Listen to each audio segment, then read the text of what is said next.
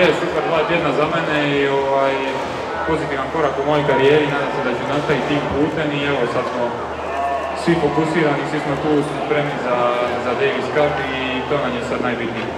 E, imamo, dakle, lišeni smo Borde Čorića koji nam je puno puta donio uh, važne bodove. Kako složiti ekipu za ovo što slijedi u Pa evo već duže pratimo Bornu, nekih manjih problema na ovoj Sokanu i prije Sokana.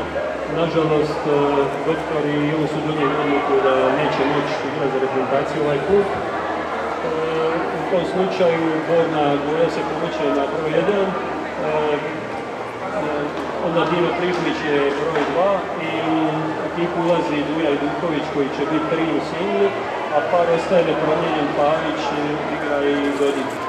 Vrijedi li ona koga nema, bez njega se mora? Pa nema problema, mi ćemo ući, borit ćemo se koji uvijek.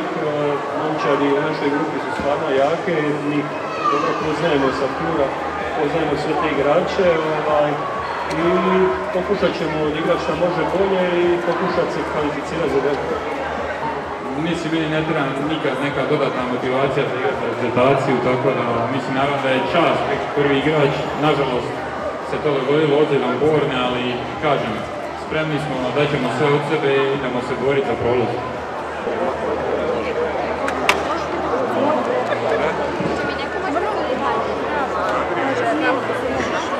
Ja,